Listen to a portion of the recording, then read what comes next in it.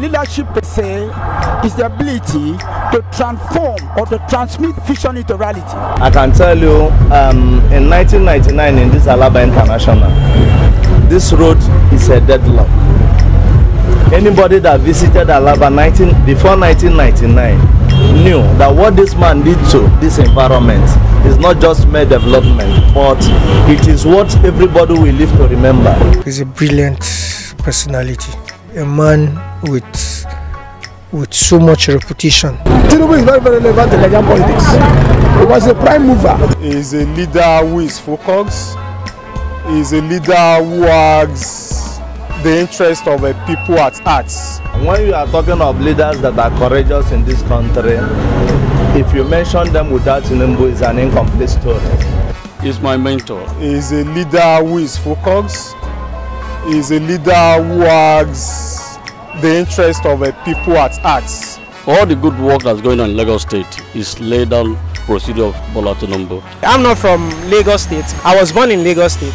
I'm enjoying Lagos because of someone like Tinubu. I will rate him as a as a national leader and uh, as a father of politics in this country. My admiration started when I started looking at progress or progression of leadership in Lagos State. He has started taking his time and mentored people.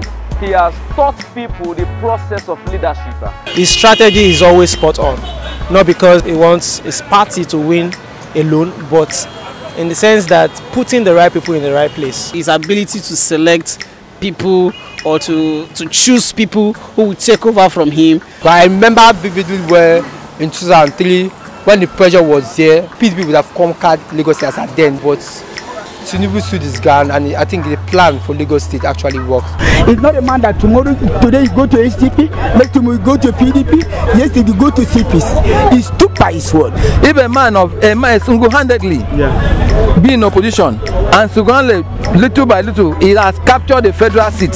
Who don't do that? That man is mighty. That man is mighty. He is a very courageous man. As a personal opinion, I think he's, he's a real gem. I would say Bola Tinubu is a guru.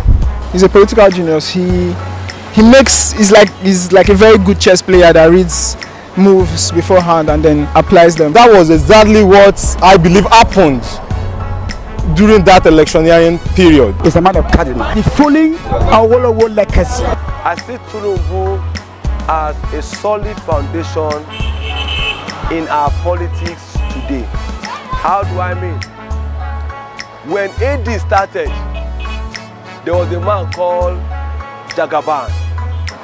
When AC came, AC was there, APC came, Jagaban was still there. You can't do without him nationally and even in the state. Even to, to the local government, you can still see his impact. Many people know how to lead, many people don't know how to also lead, um, raise leaders. And that is something that Bola Tinubu has been able to do in his time as governor of Lagos State and even in Nigeria.